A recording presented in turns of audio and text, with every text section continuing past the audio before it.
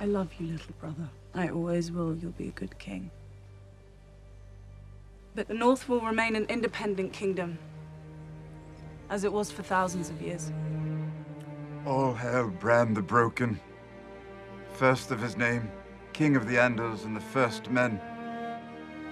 Lord of the Six Kingdoms, and Protector of the Realm.